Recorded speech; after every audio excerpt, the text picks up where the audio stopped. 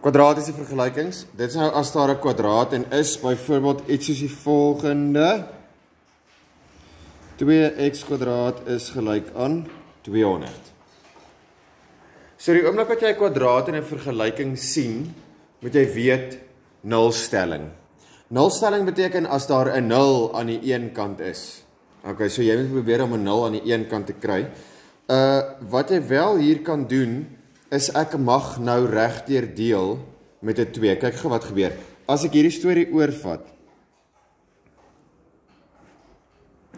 kan ek nou 'n 2 hier uithaal, stem julle saam? Maar dit gaan nie reg saak maak nie of ek 'n 2 uithaal en of ek regdeur deel met 'n 2 nie, want ek gaan op die ou en op dieselfde antwoord uitkom. So of ek nou 'n 2 uitfaktoriseer en later 0 deur 2 deel en of ek dit nou doen, dit gaan dieselfde wees. OK. So ek gaan regter deel met 2 dan bly oor x kwadraat minus 100 is gelyk aan 0. Kyk wat het ek bedoel. Ons gaan ek gaan nou vir jou sê wat het ek bedoel. Wat is daai?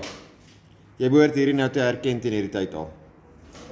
Verskil van vierkante. Twee terme, uh albei is volkome vierkante met 'n minus. So hierdie word x minus 10x plus 10. So x is gelyk aan 10 of o, oh, jy weet hulle seker nog nie dit nie. Kom ons wys vir dit. Hier gaan ek nou te vinnig. x minus 10 is gelyk aan 0 of x plus 10 is gelyk aan 0. Vriende, die enigste manier hoe jy kan 'n produk kry wat gelyk is aan 0 is as daai hakie gelyk is aan 0, want 0 maal enige iets is 0 of as daai hakie gelyk is aan 0, want 0 maal enige iets is 0. So either daai hakie moet gelyk wees aan 0 of daai hakie moet gelyk wees aan 0. Dis hoekom ek dit gelyk gaan stel uit aan 0.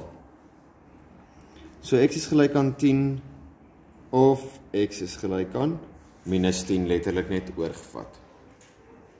OK. Kyk gou wat sou gebeur het as jy gefaktoriseer het. As jy hier gesê het, kom ons haal nou daar 'n 2 uit, dan bly hier oor x kwadraat minus 100 is gelyk aan 0. Stem julle saam? So 2x min 10 x plus 10 is gelyk aan 0. So as ek nou kyk na hierdie spesifieke produkte, dan gaan daardie nog steeds gelyk kan wees aan 0, want 0 maal enige iets is 0. Daai ding gaan nog steeds gelyk wees aan 0 want 0 maal enige iets is 0. 2 kan nie gelyk wees aan 0 nie. So jy gaan nie vir 2 gelyk kan stel aan 0 nie. So daai 2 is eintlik useless in die vergelyking. Jy kan dan net sowel weer 'n keer deel met 2 of hom uitlos. Dis hoekom ek vir jou gesê het aan die begin, deel regdeur met die gemeenskaplike faktor as jy 'n vergelyking het. Nie as jy 'n uitdrukking het nie, dan moet jy hom faktoriseer, want dan het ek nie 'n linkerkant en 'n regterkant waardeur ek kan deel nie. Is hulle by? Gaaf. Kom ons kyk nou nog voorop. Meneer, Ja, kan ons daai stap van x minus 10 is gelyk aan 0? daai skiep, ja. Dis welkom. Hulle raak 'n bietjie partykeer moeiliker want partykeer kan dit wees 4x kwadraat en dan jy dit dan sit nie so maklik nie. Ons kom nou by by sulkes hopelik. Nee, ons gaan nie by sulkes uitkom nie, maar ja. Jy's welkom om te skiep as jy sou wou. Uh kom ons kyk nou uh nog 'n voorbeeldjie. Hierdie sal wees x kwadraat is gelyk aan 9x. En hierdie is nou nogal 'n belangrike een, hoor. Wat sien jy in daai vergelyking? Dit gaan heel waarskynlik of nee, nie heel waarskynlik nie, dit is die heel eerste stap wat jy moet doen is om te identifiseer watter tipe vergelyking is daai? Wat sien jy? Watter tipe vergelyking is dit? Kwadraties. Hoekom? Ag, daar's 'n kwadraat. He. Wat doen julle nou? Kan ek regdeur deel met 'n x? Ek het daarso regdeur gedeel met 'n 2. So ek kan seker nou hierso regdeur deel met 'n x. Nee, ek sê dit nou nie gevra het nie. Julle baie van julle dink maar hoekom kan mens dit nie doen nie? Hoekom mag ek nie regdeur deel met 'n x nie? Is x nie ehm om die ding wat jy doen. Dis die ding wat is die onbekende. So wat mag x dalk wees? Nee, ek weet nie, kom ons kyk. So ek het vir jou geleer as jy 'n kwadraat in jou vergelyking het, wat doen jy? Nulstelling. Kwadraat nulstelling. Okay, so ek gaan 'n 0 kry aan die een kant. x kwadraat minus 9x is gelyk aan 0. Wat doen ek nou? Is dit verskafel kwadrate? Nee, stap 1 haal iets uit. Stap 2 shut up en doen jou werk. Nee, is grappie. Stap 1 haal iets uit. x x minus 9. Ek kan maar sê x en albei uithaal. So wat gaan nou gelyk wees aan 0 en wat gaan nou gelyk wees aan 0? Daai ding as hy gelyk is aan 0 is 0 maal enige iets 0. Of as hierdie ding gelyk is aan 0 is 0 maal enige iets gelyk aan 0. So ek gaan sê x is gelyk aan 0, hom op sy eie 0 maal enige iets. Of x min 9 is gelyk aan 0. So dit lyk vir my x is gelyk aan 9. Wil iemand nou vir my verklaar hoekom kon ek nie gedeel het met 'n x nie? x is nou 0. Hoekom mag ek nie gedeel het met 'n x nie? Definitief sou jy net jy kan jy sien jy deel een van jou antwoorde weg. OK, maar dis nie die groot rede nie. Ah, jy mag nie met 0 deel nie. So die oomblik as jy daar regdeur deel met x, x kan dalk 0 wees.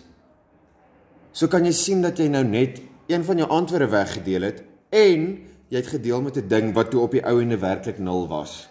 So vir twee redes mag jy nooit met 'n onbekende deel nie. So skryf dit vir jou hier neer, laat die minions vir dit waai, highlight dit met sterretjies en alles. Moet nooit met 'n onbekende deel nie. Want vriende, dit is uit die aard van die saak baie makliker om te sê kom ons deel regter met 'n x. Uh en as ek daardie deel met 'n x dan kry ek x. As ek hierdie deel met 'n x kry ek 9. X is gelyk aan 9. Is baie makliker. Jy verloor helfte van jou punte. Want jy het wiskundig op groot skaal droog gemaak.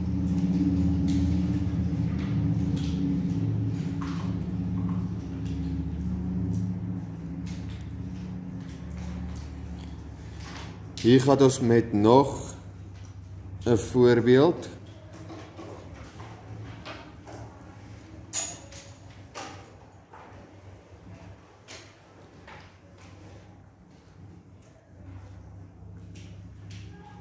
x x minus 5 is gelyk aan minus 6. Yes. Hulle het klaar op ons gefaktoriseer, so x is minus 6 of x minus 5 is minus 6, want 'n nulstelling is mos so goed soos 'n minus 6 stelling. Nee, vriende. Is daar iets soos 'n minus 6 stelling? Nee. Gaan ek altyd iets met iets maal om minus 6 te kan kry? Nee. So daar is nie so iets soos 'n minus 6 stelling nie. Jy sal hierdie ding eers moet vereenvoudig om 'n nulstelling te kan kry. Hoe gaan ek 'n nulstelling kry? Vat die 6 oor. Dan het ek die volgende en ek gaan dit nou in twee stappe doen wat heeltemal onnodig is. Kan ek nou sê, uh, hierdie is 'n uh, nou en ek weet nie wat nie. Wat moet ek nou doen? Jy gaan nou met inmaal sodat ek eers 'n gewone kwadratiese vergelyking kan kry wat ek weer moet faktoriseer en dan kan ek 'n nulstelling doen. Ja, niemand het gesê dit gaan min werk wees nie, maar moeilik is dit beslis nie. OK, hoe wat wat gaan ek hier doen? Hoeveel terme sien jy? 3 terme, met ander woorde 'n 3 term. 1 1 6 1 3 2. Ek wil optel om minus 5 te kry. Tekens met dieselfde wees. Dit lyk vir my na daai twee kies. So x het ek agtergemaal met minus 2, x met minus 3. En dan gaan ek weer daai stappie insit wat jy nie hoef te doen nie. So daai ding moet gelyk wees aan 0 of daai ding moet gelyk wees aan 0 want 0 maal enigiets is 0 of enigiets maal 0 is 0. So x is gelyk aan 3 of x is gelyk aan 2. Laaste enetjie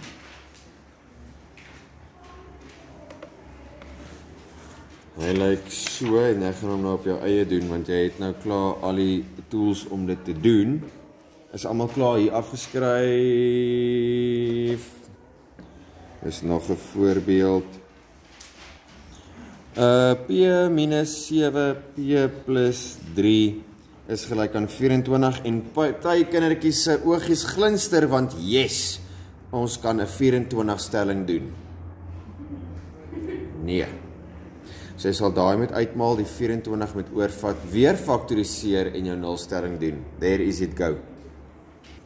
Hier gaan ons, so ons gaan met uitmaal p kwadraat minus 7p plus 3p is minus 4p minus 21 minus daai 24 is 0. Sjoe, dis nogals groot getalle. Minus 4p minus 45 is 0. So 45 lyk vir my na 45 en 1 2 3 gaan ook daarin gaan, maar dit is nie regtig nodig nie want eintlik wat ek soek is 9 en 5. En dit sal wees verskillende tekens. Daai is minus en plus. Right, so P het ek agtergemaal met 'n plus 5, P met 'n min 9.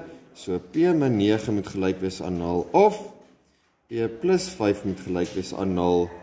P is gelyk aan 9 of P is gelyk aan minus 5. Ag julle en kyk, dit is regtig nogals oulik hierdie. Uh want as ek 9 nou daar gaan instel, kan ek sê 9 minus 7 is 2. 9 uh plus 3 is 12. 2 maal 12 magtig, vriende, dit werk. Minus 5 minus 7 is minus 12. Minus 5 plus 3 is minus 2. Minus 12 maal minus 2. Man, oulik. Ons is reg. Is dit nie mooi nie? Daar's hy. Hulle knik almal hulle koppe. Baie opgewonde, almal om hier te wees. Ewen die drama kinders is opgewonde.